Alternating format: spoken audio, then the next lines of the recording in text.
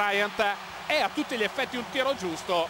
Tre siluri devastanti di Kobe Bryant più 13 Lakers. Il concetto di Nori Our House mi sembra abbastanza chiaro. Kobe vuole pigliare il primo tiro disponibile nei primi 5 secondi dell'azione perché ha chiaramente intuito che è quello il momento in cui ha più facilità di avere un buono sguardo a canestro era il 1994 finale della Eastern Conference i New York Knicks con Rivers in fondo, molto in fondo alla panchina contro i Chicago Bulls di Phil Jackson. Per me la miglior stagione di Phil Jackson da allenatore non c'era Jordan.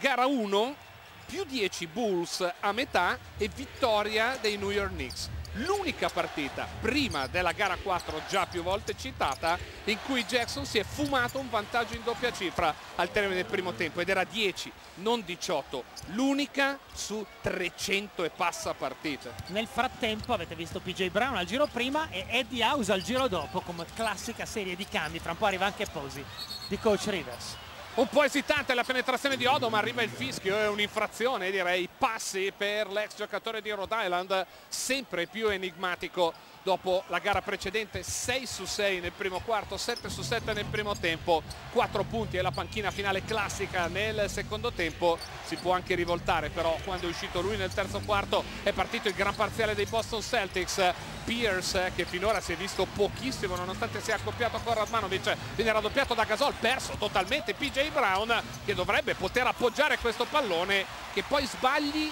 non cambia niente. Non si può perdere un uomo sotto la retina. Ennesimo dubbio su che cosa vogliono fare difensivamente Lakers. Avete visto Kobe che prende il classico tiro nei primi 6 secondi dell'azione li sta mettendo da 3 punti 11 per lui è tornato su Allen mentre Fischer è andato da House l'idea è stacchiamo House dal resto della squadra ma nell'intero quarto quarto né Vujacic né Farmar hanno portato via un solo pallone alla coppia Allen-House e guardate Fischer questa volta fa la cosa giusta almeno chiude su PJ Brown.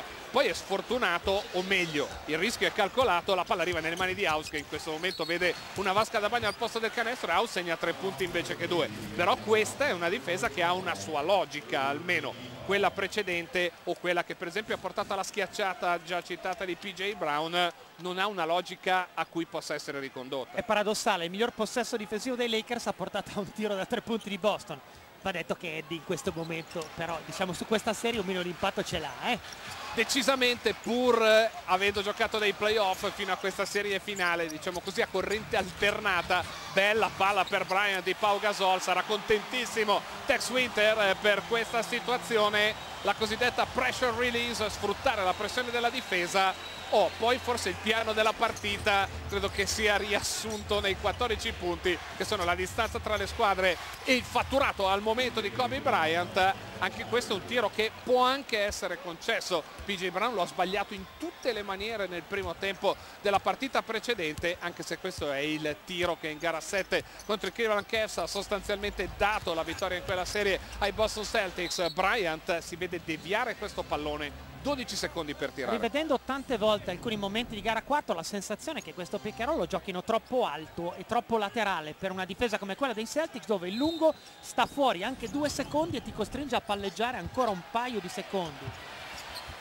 Palo da parte di Radmanovic sul tiro dall'angolo, si lotta a rimbalzo la palla di Allen, corre Eddie House, vediamo se prende anche questo tiro. Direi che legge la situazione. Garnett in post basso. Arriva il taglio di House seguito per un attimo da Odom poi lasciato da Odom che si occupa di PJ Brown. Brian scala su House ma non marca neppure House. Radmanovic non marca Ray Allen.